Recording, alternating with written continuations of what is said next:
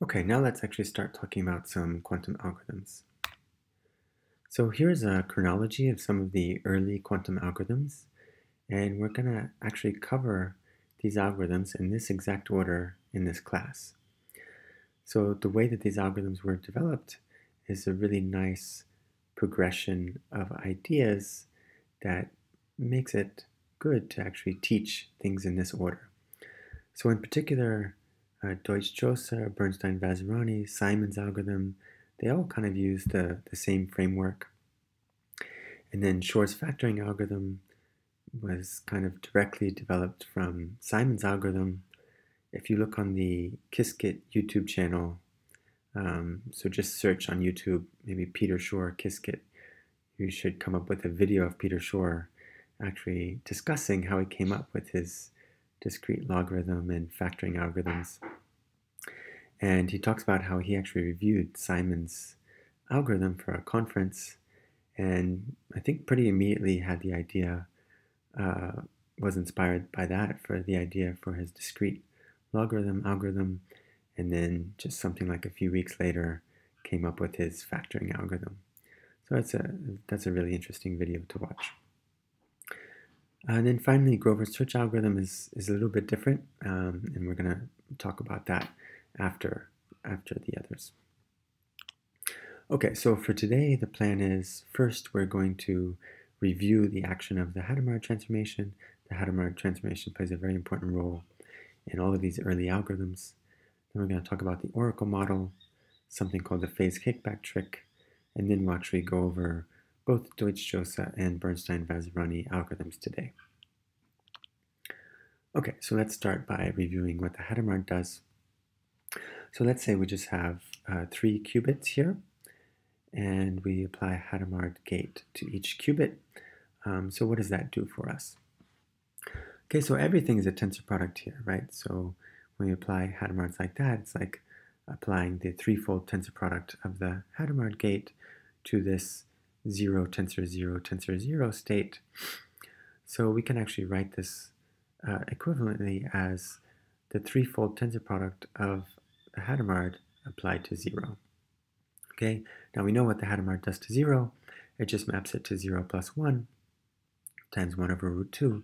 So we have this uh, tensor product with itself three times. Okay, and now when you expand this, you're going to get every possible combination of 0 and 1. Okay, so we're going to have a sum over all 3-bit strings of ket x, and the coefficient is just going to be 1 over root 2 cubed.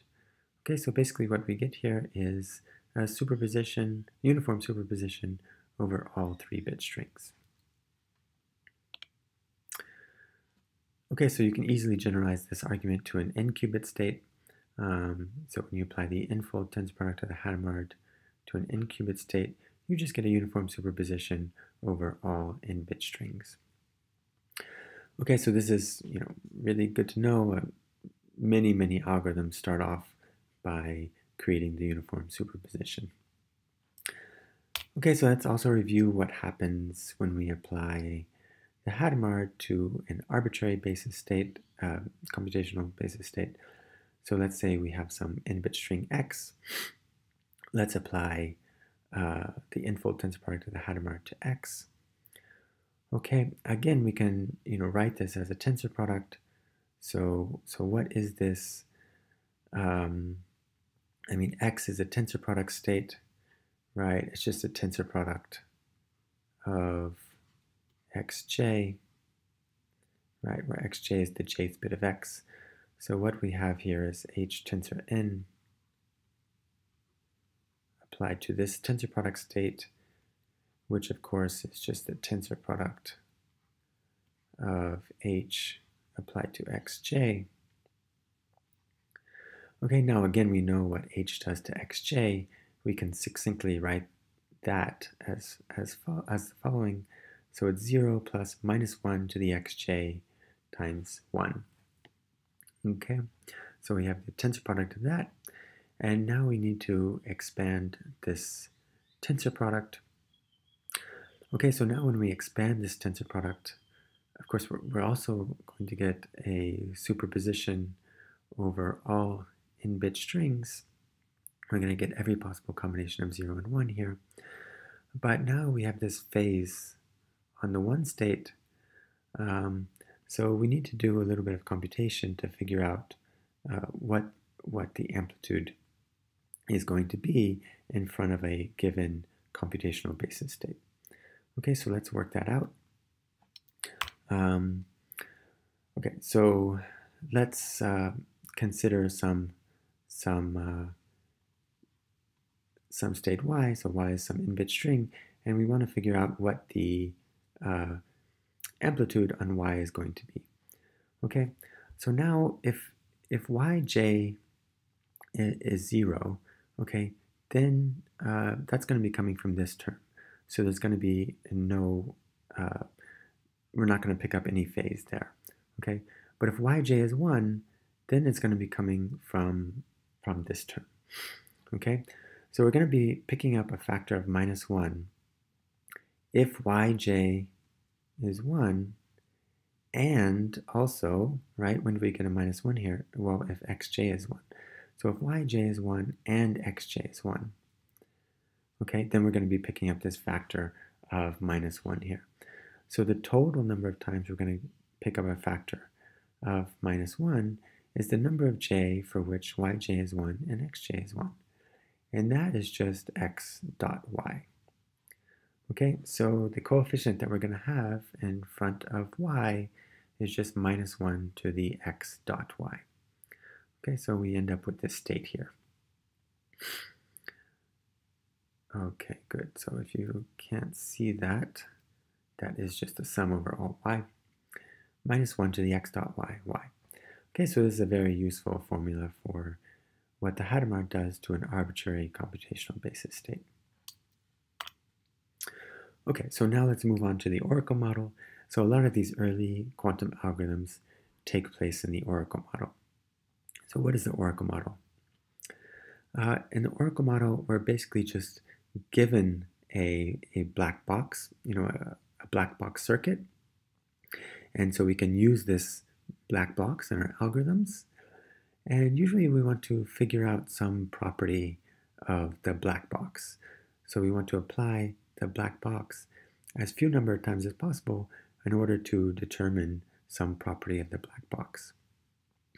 So more specifically, um, usually the black box encodes some function, some Boolean function f, say from 0, 1 to the end to 0, 1. And the black box has the following behavior. You know, how does it encode this function f?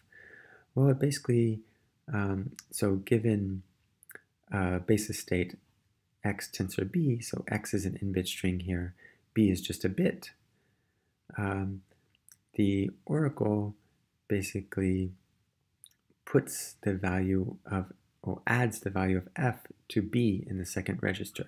So here it adds the value mod 2 in the second register.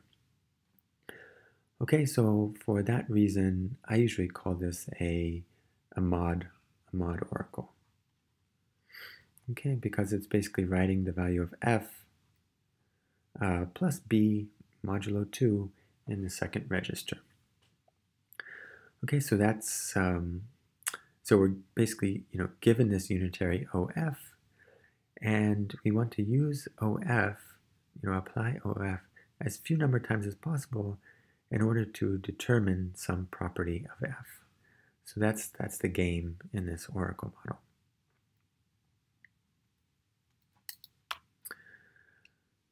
Okay, so um, Here's a very common starting point for quantum algorithms in the Oracle model. So we do what we, what we just saw. We initialize the state to you know, 0 to the n tensor 0. We apply Hadamard on the first register, just identity on the second register. That creates a uniform superposition, and then we apply the oracle. Okay, and since you know the second register has zero, that just puts the value of f of x in the second register. Okay, so now we have this state. Okay, so you know at first glance this seems to be uh, you know a very powerful thing to do. Right now we have a superposition over all x of x tensor f of x. But but really it's still not obvious, you know, how you can how you can use this state, right? Like if we were just to to measure the state right now, all we'd get is just a random value of x and the value of f of x. Okay, so that's something that you could also get just with a randomized algorithm. Okay, so you still have to be clever in order to figure out what to do next, right? How you can use this state to really do something useful. Okay, so now let's talk about another uh, trick that you see a lot in, um, in this oracle model. So there's basically another version of the oracle. So right, first we discussed the mod oracle. So the second version of the oracle is called a phase oracle. Okay, and again we have we have an n bit uh, x is an n bit string here, b is just a bit, and the phase oracle, instead of writing the value of f, uh, you know, mod b in, the second register, I'm sorry, plus b mod 2 in the second register, the phase oracle uh, kind of puts the value of f of x in the phase. Okay, so specifically, it multiplies the state by minus 1 to the b times f of x. Okay, so if b is 0, it's, it's never going to do anything. But if b is 1, then it flips the phase if f of x is 1, and otherwise it, it, it does nothing. Okay, so this is a phase oracle. So sometimes a phase oracle is more uh, convenient to use in algorithms. Um, and what we're going to see now is that even if I give you the mod oracle, you can implement a phase oracle uh, you can implement a call to the phase oracle with just one call to the mod oracle. Okay, so basically uh, what this means is that if I ask you to design an algorithm and I give you a mod oracle, you can just as easily assume that I give you a phase oracle because you can convert uh, the mod oracle into a phase oracle. Okay, so let's see how that works. Uh, okay, so we're going to start out just by applying identity to the first register and a Hadamard to the second register. Um, so that creates 0 plus minus 1 to the b on, this, on the second register. Okay, and then we're going to apply uh, the mod oracle. Okay, so let's see what that does. Um, so when the second register is 0, it's just going to put f of x. When the second register is 1, it's going to put f of x plus 1 mod 2, which basically just negates the value of, of f of x. Okay, now this next step is a little bit tricky. Um, I think there's kind of no easier way to see it than just uh, going through some, some case analysis here to see that uh, this state is the same as this state. Okay, so let's go ahead and do that. So let's first consider the case that b is 0. So when b is 0, this is just uh, 0 plus 1 inside here. Okay, it doesn't matter if f of x is 0 or 1. Um, this is always going to be 1, so this state is always just 0 plus 1. Okay, so on this line, when b is 0, then of course uh, this term here is just going to be 1, and here we're going to get 0 plus 1. Okay, so they agree when b is 0. Uh, let's now consider the case where b is 1. And again, let's just do some case analysis. So let's say that f of x is 0. Uh, then what are we going to get? On this line, we're going to get 0 minus 1.